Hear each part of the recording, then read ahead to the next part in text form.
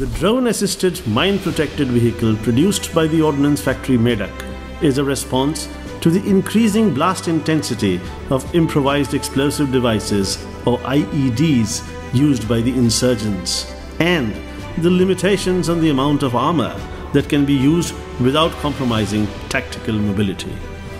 The MPV is being developed in association with the Indian Institute of Technology Hyderabad and the Central Mechanical Engineering Research Institute under the CSIR. It is equipped with optical, infrared, and radar sensors.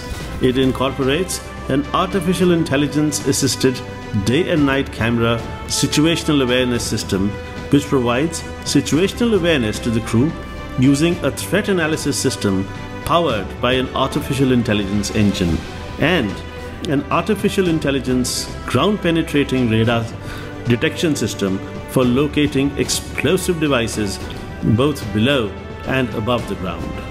The drone assisted MPV represents an intelligent solution for silencing the insurgents' most lethal weapon.